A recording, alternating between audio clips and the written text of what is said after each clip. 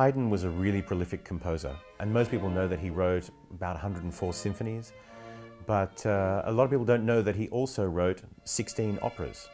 And uh, the one Pinchgut's going to do, Armida, is number 15. So it was basically his, it was his second last opera and the last opera that he wrote for, uh, for Prince Esterhaz.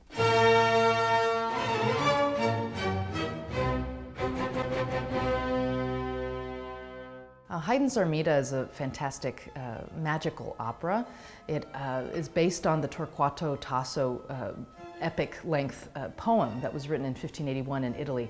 And it's, um, it's actually a, a fantastic war and love story set against the backdrop of the Crusades. Rinaldo is, uh, is a knight who is fighting to retake Jerusalem, uh, and Armida is this, this sorceress who has been sent to sort of disarm him, as it, as it were, um, uh, by whatever means she can.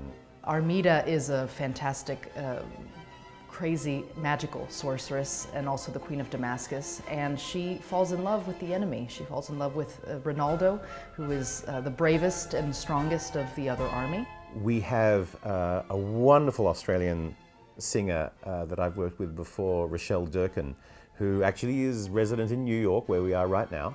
And uh, Rachelle, the last time I worked with her, uh, she played another sorceress, uh, Alcina, and she's fantastic at it. My alter ego is Armida because this will be the fourth time I've played an evil sorceress, all based on the same story. Rachelle is beautifully tall with this and fantastic on stage. You can't take your eyes off her. She's so alluring and seductive, and her voice moves just brilliantly. She has all this incredible coloratura that is perfect for this role. I have a real love for early music, and this piece has a lot of fast moving passages, a lot of coloratura, and I love sinking my teeth into that. It's, it's going to be exciting.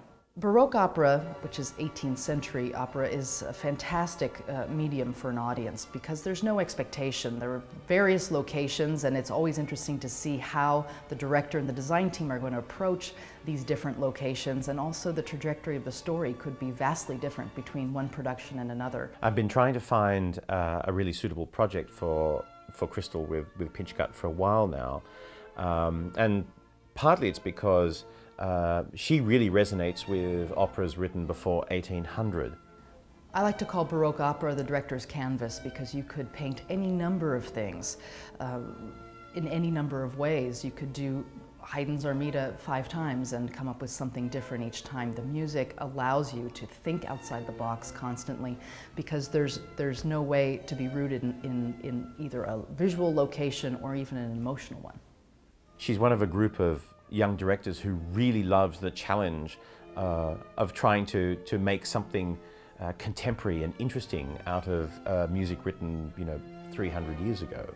What I love about Baroque orchestras is that there's such a great collaboration between pit and stage that you don't find anywhere else. Instrumentalists actually have to listen to the performer in order to react, to play the right chord underneath the right word.